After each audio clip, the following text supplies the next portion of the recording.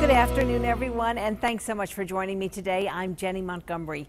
Welcome to another half hour of information to help you make the most of your time, to make informed decisions, and to keep up with goings on around Greater Augusta. Today, we are focusing on health and wellness through nourishing the body and mind. The Augusta Alumna chapter of Delta Sigma Theta will own the mind portion, telling us about the accomplished young men taking part in their upcoming Mr. Debonair fundraiser. The makers of Hydro One are here. Their functional beverages are designed to reverse the effects of poor diet and lifestyle choices. But first, maybe you read this article in the Augusta Chronicle last month, citing a report that Georgia families who get insurance through an employer saw their average deductible skyrocket more than 23% and now pay an average of 14% of their income just in premiums and meeting deductibles. The national average is 12%. Now, some medical professionals are out to change that through direct primary care. They say it puts the power back into the hands of patients and providers and allows more time with patients so you don't feel like you're just being rushed in and out. Dr. Ed Boland and Davis Mellick are some of the first here in the Augusta area to introduce DPC. Dr. Boland, thank you for being here. Thanks for having us, Jennie. Absolutely. Davis, it's great to see you yeah, here as well. Great to meet you. Now, you all um, say that this gives you more time with your patients, and you said that it's the kind of medicine you wanted to practice since medical school. It is. It is. I went into family practice thinking I was going to go back to my small town in South Carolina and be old Doc Boland, deliver babies and take care of folks that I went to school with and I knew their families and to be that, that stalwart in the community. And right. I just have not had that opportunity until this direct primary care model fell into my lap thanks to Davis. You are running direct primary care Evans. And so you probably didn't have that many years in in the medical field when you stumbled upon this. So how did it, how did you find it? Well, uh, I've actually been practicing uh, since 2012, mm-hmm. uh, and so started off in emergency medicine, um, and then transitioned to primary care and urgent care, and that's actually where Dr. Boland and I met. Right. And right. so we were saying to ourselves, there's got to be something better. Uh, th- there's got to be something where we can really give impactful uh, medical advice and, and time to patients without insane costs and, and dealing with insurance companies that are dictating how you practice. And I had come across direct primary care, and we started talking about it, and we decided this is what we need to do. This is how we're going to, you know, at least it might be a drop in the bucket, but it's at least a start to try to change things, at least in our community, where we can provide good quality medical care, be able to have the time with patients, and not have everything kind of dictated to us on how we're supposed to practice. I, I saw on one of the websites that that pretty much for a doctor, half the time that you're there is spent on the, the paperwork and, mm-hmm. and entering mm-hmm. all this information. And you, you don't get to spend that time on your on your patient. And and for a lot of physicians, in order to compensate for that, they spend the necessary time with the patient and then take all of that computer and paperwork home with them. And and oh, that's something so that patients don't see. Yeah.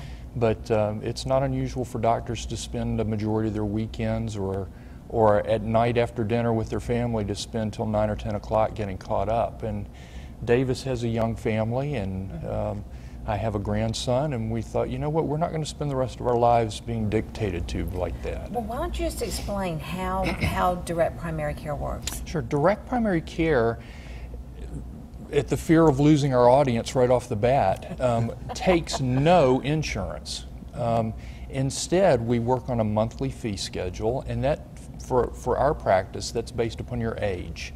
So if you're 18 years old or younger, it's a monthly fee of $35. We don't charge you by the visit. Yeah. Um, so if you see me five times that month, it's still $35 for that child. If you don't see me at all that month, it's still a fee of $35. Right. So Um, the average fee for our patients is about $50. It maxes out at $70 for a, uh, for a person who's 65 years old uh, and, and older. But the average is about $50. So in the course of a year, you're spending $600, and in return for that, you have unlimited access. We take care of your basic preventive medicine needs. For example, um, a lady's pap smear is included in that cost. Our, our portion of the fee, the, the pathologist still wants to get paid, but Right. um, the uh, the uh, typical person will will spend about six hundred dollars in a year, which is far less than the fourteen percent of, of income that you were just talking about in, in the lead-in. And if you do have insurance, it does kick in when it comes to like if there's emergency room visits or you have, have to be referred to specialists and things. That's right. Absolutely. And so we encourage people to have some coverage, uh, but it doesn't have to be traditional insurance anymore. Um, you can use health share programs. There's a lot of them that are Affordable Care Act compliant.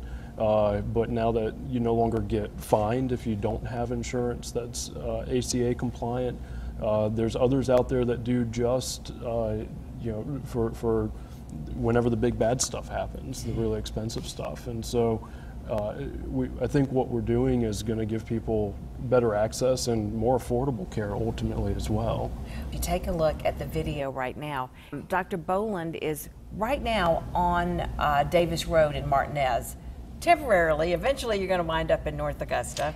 That's the plan. That, that's the plan right now, Yeah. Jennie, and, and that's a, a great time, if we could, just to give a shout out to Dr. Rob Lamberts, Yeah. who is the, the, the number one direct primary care doctor working in, in Augusta. He mm-hmm. started about five years ago, and he has just taken us under wing. He's been a mentor and a, and a big brother, really, to, to, to me and to, to Davis, and is sharing his office with me right now.